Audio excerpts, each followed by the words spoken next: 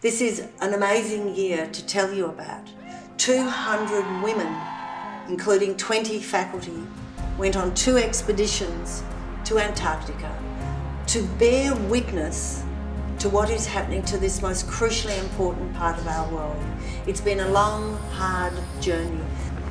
El programa de liderazgo ha estado muy bien, se llama Liderazgo Emergente y lo que hacíamos era cada día diseñar un poco el programa entre todas nosotras. Dentro del barco mucha actividad, eh, reuniones, sesiones sobre clima, sobre política, muy interesante. Estoy más que segura que todas las mujeres que nos embarcamos en este viaje a este lugar prístino vamos a cambiar el mundo. Un antes y un después. And the women worked very hard in terms of exploring how they could collaborate, what that may do to think about how we can make decisions that change what are the planetary issues that we talk about. From climate to water to environment to education. This isn't possible without the sponsors and the supporters and the fundraising done by the women to make this happen. So to all of the people who supported the women on the journey, thank you. It has made a huge difference in their journey.